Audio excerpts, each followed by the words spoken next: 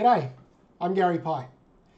The introduction videos that I do to my characters are to help you get the best results when working with these characters, whether it's animating them or whether you're using them as static images. These videos are designed to show you the intricacies of working with these characters because nowadays some of my characters have so much involved in them that you can do thanks to using all of the features and tools that are available to us from Cartoon Animator.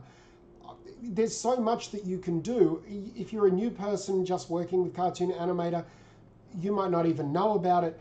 If you've been working with Cartoon Animator for ages, maybe you've overlooked it. So these videos are designed to show you how to work best with specific characters. And in this video, I'm going to show you how to get best results from my new Toodees character, Melvin.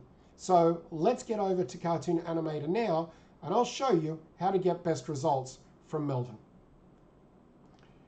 When you first load Melvin to screen, this is what he looks like.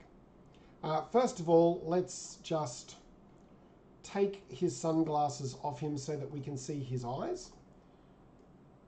Using the face key editor, we'll just take the sunglasses off. We'll come back to the sunglasses later, but for now, we'll just turn them off. Melvin is a vector-based character. That means we can zoom in on this character as far as we want. And you'll see down in the corner here that you'll get the little notification to say when it's vectorized. And you can see he's got nice sharp edges on him. So regardless of how far in you want to come, how far you want to zoom to the character, you're always going to get great results from vector-based characters. Um, now, Melvin also has spring bones, but he has very short hair.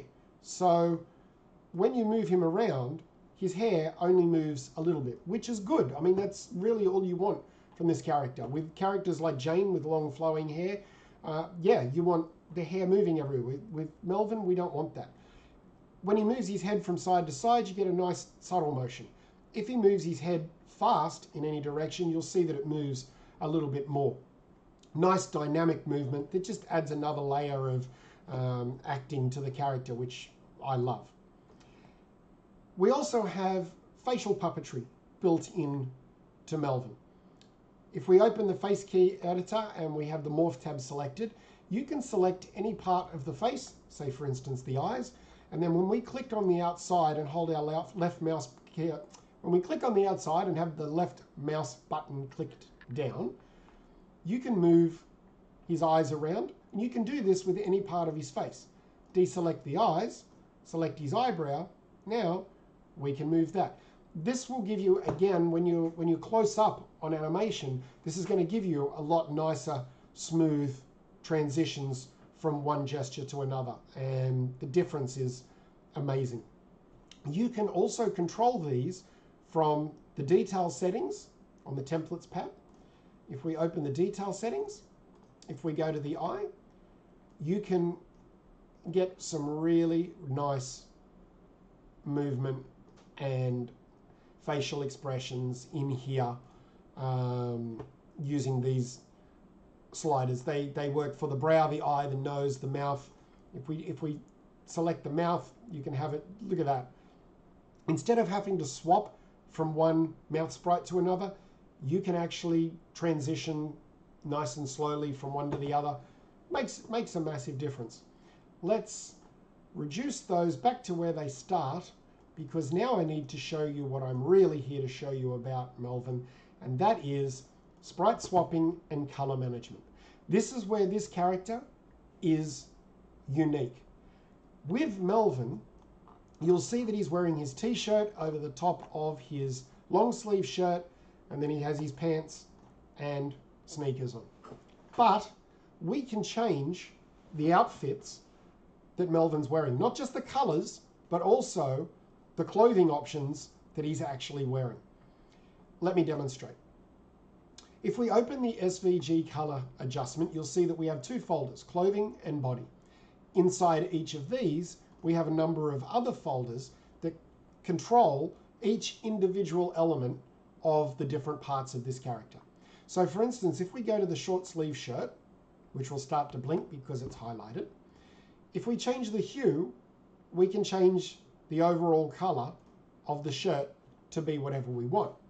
But if we open up that folder, you'll see you have different options within this folder, including trim, sleeve, torso, and logo. Each of these folders controls a smaller section of this element, the t-shirt. So if we pick the sleeve and we increase the brightness on the sleeve, well then we can change just the sleeves without affecting the torso. If you select the logo and reduce the opacity to zero, you can make it disappear altogether. In fact, another thing that you can do is to take the short sleeve shirt, reduce its opacity, and make it so it's translucent, almost like a plastic material or um, like like a, a material, material like a veil or something like that. So there's a lot of options there. But if we want to take the t-shirt off him completely, reduce its opacity to zero, and now you can see his long sleeve shirt underneath. So we have a second option for clothing. Again, if we choose the long sleeve folder, we can change the hue of the long sleeve folder, or you can change individual elements of it, like the sleeve, the torso, and the trim. But what if we want to take the jumper off him? Can we do that? With Melvin, yes, we can do that. We can take the jumper off him and leave him naked from the waist up. To do that, obviously, all we have to do is reduce the opacity of the jumper down to zero. But when we do, you're going to see something weird happen. Watch. We reduce the jumper's opacity down to zero, the tops of his arms disappear. Now the reason for that is because the arms have multiple sprites. And if we open up our sprite editor and select an arm, you can see we have three different sprites, normal, short sleeve, or naked. Because he doesn't have any clothing on, if we select the naked sprite, everything's back to normal and we're good to go. Working with the pants works in a similar fashion. Let's say we want to take Melvin's pants off. All we have to do is go to the SVG editor, select the clothing, first of all. You can turn his belt off individually, but then go to his pants. Just like normal, we can change the, the color of the pants by changing the hue slider. We can do that. But what if we want to take his pants off? Now, if you go to the sprite for the torso, you'll see there's only one sprite for the torso. The reason for this is because we want this character to be able to bend from the midsection. And if we have multiple sprites in a character, only the first sprite can bend in the middle. Any other sprites that you have will show up, but they won't bend. And we need him to be able to bend while he's just wearing his underwear. Okay? And to do that, we go into the SVG editor, go to the clothing, go to the pants. Now, when we make the pants invisible, what's going to happen when we reduce the opacity to zero? What's going to happen is his legs will disappear because his leg sprites are showing the jeans. So we reduce the opacity to zero. Now we can see his underwear, but his legs have disappeared. Simple enough. All we need to do is go to the leg sprites. There's four of them, two for, the uh, two for each leg, the thigh and the shank for each leg. Select your, select your sprite. Make sure that you select the naked sprite for that one. Now we're down to just his underwear. You can also take the shoes off Melvin. And all you need to do to do that is again swap sprites because both feet have multiple sprites. We've got the shoe or we've got the barefoot. On the left foot, we've got the shoe and the barefoot with three of each because we've got forward facing, camera facing, reverse facing. So it depends which one you want to use. What's interesting is forward facing and reverse facing, the ankle looks fine. But on this one, the forward facing one, the ankle doesn't look right.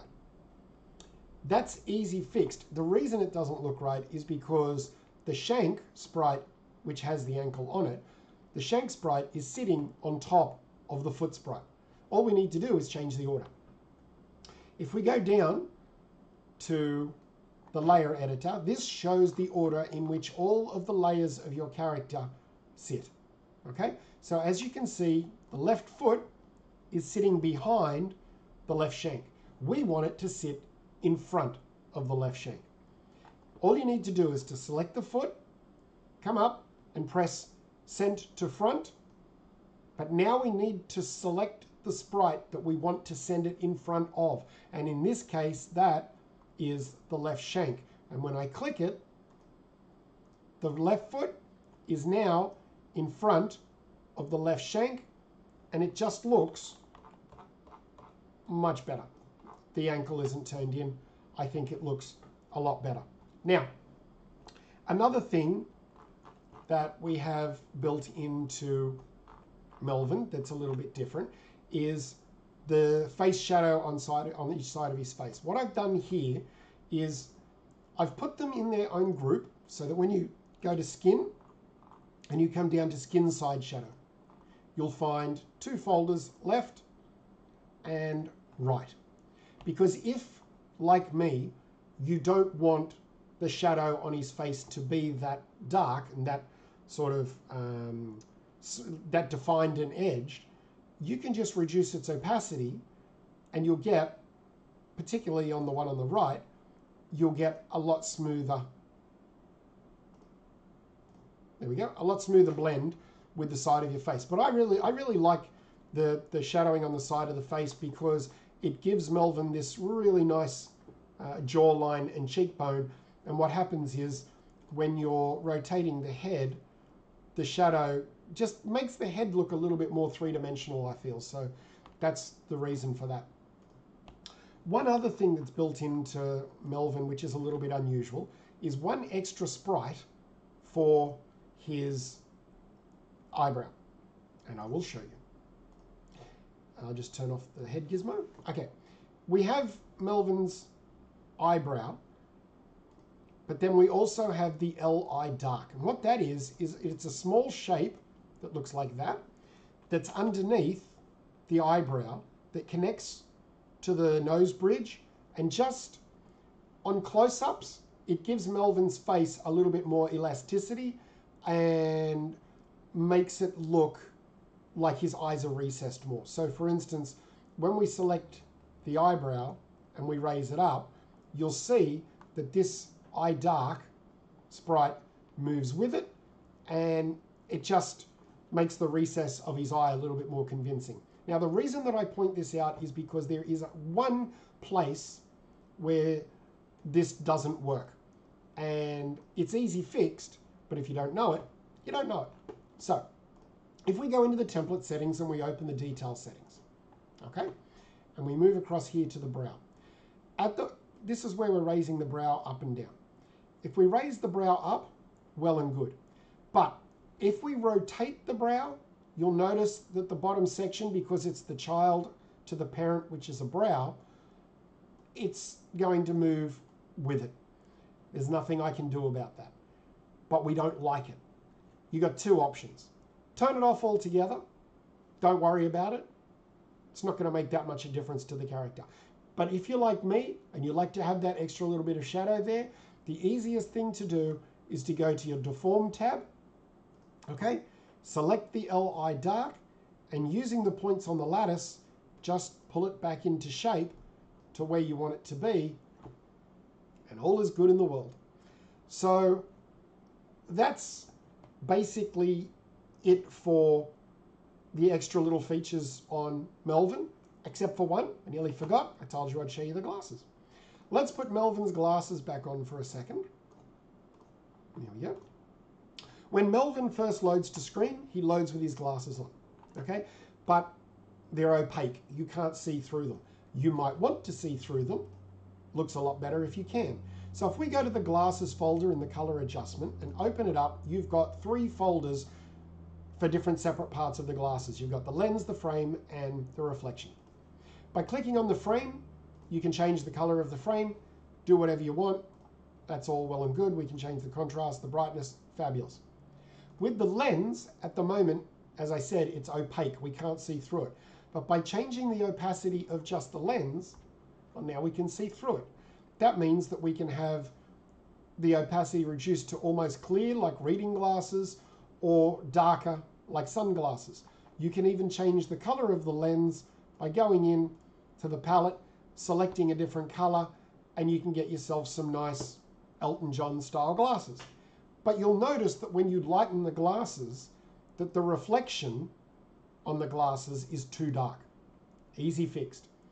Select them, increase their brightness, reduce their opacity, and now when Melvin moves his head around, the glasses have that really nice translucent effect and you can even you can even see his eyes through the the reflection on the glasses. I mean that's this is what Cartoon Animator 5 can do now. It's just got some really, really cool stuff in there.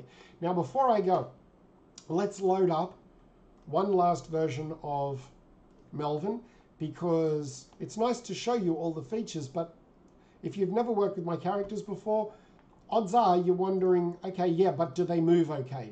What happens when you move them? Do they animate right? Yeah, they really do. Let's take the glasses off again because, I don't know, it's just me. I like Melvin. I put the glasses on as an extra feature, but I like Melvin without the glasses. Let's open our content manager and go to our motions. Go down to the cartoon motions pack, which is my favorite pack. And if you do a lot of animation, you should own this pack. It's the best pack in all of the Reallusion store, in my opinion. Um, now, to apply motions, hopefully you know this by now, but if you don't, I will show you. Each motion has three different variations, S, L, and E. That stands for start, loop, and end. So if we take the double bounce and we drag and drop it onto Melvin, oh, the glasses pop back on, that doesn't matter. Uh, that's because the motion's applied, it reverts back to the original character. Don't stress, we'll leave them on there. Um, you got the double bounce. Now we apply the second walk cycle. We'll do another one. And the end. Okay. Oh, as an, as an interesting point, I'll show you. With the glasses, if we go to the timeline, um, you'll see when the motion is first applied, he's got the glasses on. Say we didn't want the glasses on. Let's turn them off. Go back to frame one, turn the glasses off. They'll turn off, but they turn back on. The naughty little devils. The glasses turn back on. You'll see that the motion wants all the sprites showing. We don't want that showing all the time, so all you need to do is to move forward to the, the keyframes for the glasses sprite, that's the S track, move forward to them uh, and just make them invisible. Now, when we go back and Melvin walks, his glasses will stay off. Now, interestingly, have a look at Melvin's, let's zoom in for a second. Oh, wait, I shouldn't do it there. Go to frame one, let's zoom in for a second. When Melvin's walking, even though I said the spring bones in his hair are quite subtle, when we apply the walk cycle, that's I'm not happy with that. I don't I don't like the way the the hair that's too bouncy. Okay? Don't like it. That's not the way it should be. If you don't if you've got one of my characters and you don't like the way the spring bones work, don't stress. Either turn them off or adjust the settings. Now, I don't like the way the spring bones work there with this motion. So all you need to do is to select the hair. Okay, select the hair and you can manually change all your uh, sliders but for me probably if we just go select the, the, preset of stiff. Now when we apply a motion it should not have the hair move as much. Let's have a look. Yeah there we go. Now you just get a nice subtle little motion in it. So that is just about everything I can show you for Melvin. Uh, I hope you like this character. If you have any questions about this character or any of my content that I do, go to my Facebook page, send me a private message. I am always available. I'm always answering questions, whatever you need. Thank you for watching. I hope you enjoy this character. I've got lots more coming. Have a great day. Talk to you soon. Bye.